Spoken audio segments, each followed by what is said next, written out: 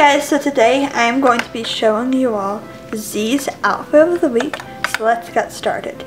And if you're new here, make sure you subscribe because I'm trying to reach 375 subscribers by the end of the month and 400 subscribers by the end of the year.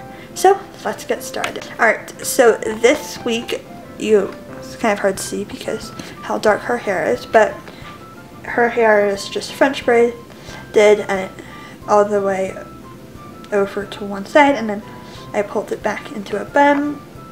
Then she has on this shirt from the Cool Cozy outfit, I want to say.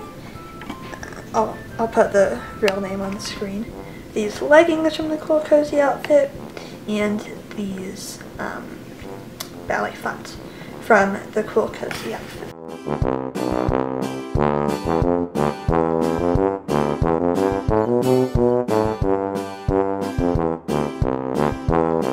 Alright, so that was Z's outfit of the week. I really hope you enjoyed. Comment down below who you want me to do next. And yeah, please comment, like, and subscribe. Bye!